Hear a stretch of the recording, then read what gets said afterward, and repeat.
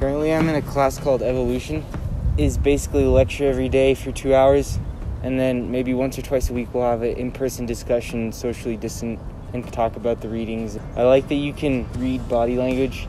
You can go off on tangents in a more comfortable way than if you were to just be in a Zoom call, whereas it being in a discussion feels more like a conversation, and it's able to flow better.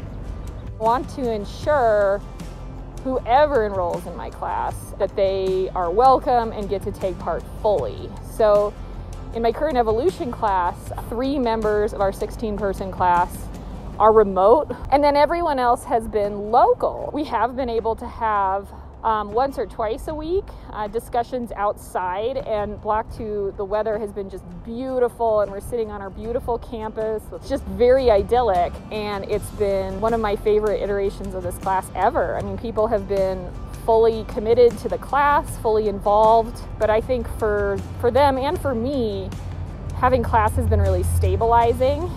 Do you have any advice for students, either on campus or at home? I think when it comes to academics, embrace the fact that like classes are now more geared toward like, individual exploration of topics and stuff.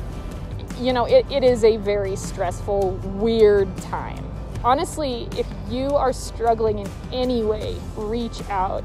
Reach out to your faculty, reach out to your advisors. There's flexibility, there's grace now, and we want you to be happy, is what I would want to say.